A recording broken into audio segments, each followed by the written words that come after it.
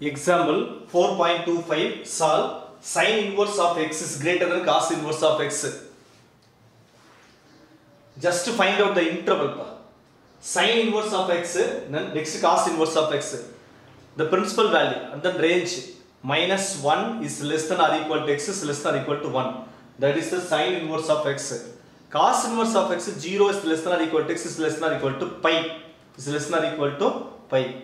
So both of them the range of the range of the values is minus 1 is less than or equal to minus 1 note that this one minus 1 is less than or equal to x is less than or equal to 1 sin theta should be satisfied. Why? Because minus pi by 2 comma plus pi by 2 the value range of the value the principal range of the value of sin theta minus pi by 2 to plus pi by 2 should be exist Next, 0 comma pi. This is also exist for cos theta. Cos theta, this one cos pi is equal to minus 1, cos 0 is equal to 1. Cos of minus pi by 2, next, next sin theta should be existed. So, the limit of the values is minus, minus 1 to plus 1. Minus 1 to plus 1. So, first of all, the solution, solution, sin inverse of x is greater than cos inverse of x this one given values this one given that okay? So note our conditions note that note that the value minus 1 less than or equal to x less than or equal to 1 that is the given inter, given equation given inequality of the range value okay? Next sin inverse of x adding on both sides. So, adding sin inverse of x on both sides.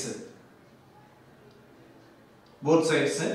So, sin inverse of x plus sin inverse of x is greater than cos inverse of x plus sin inverse of x. Clear?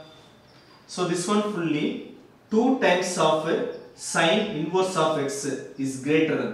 This one sine inverse of x plus cos inverse of x is equal to is equal to pi by 2 that is the formula of the formula of sine inverse of x plus cos inverse of x is equal to pi by 2 okay? That is the formula so now going to using this formula this one pi by 2 clear?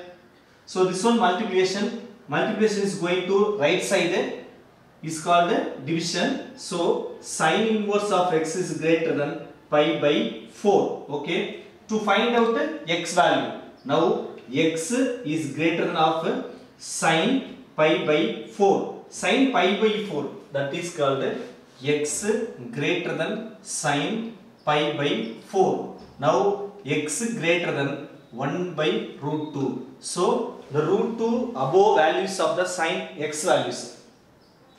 So the limit of the this this given inequality minus 1 to plus 1 eh? so this one 1 by root 2 the above value of x. So therefore the solution set. So therefore the solution set is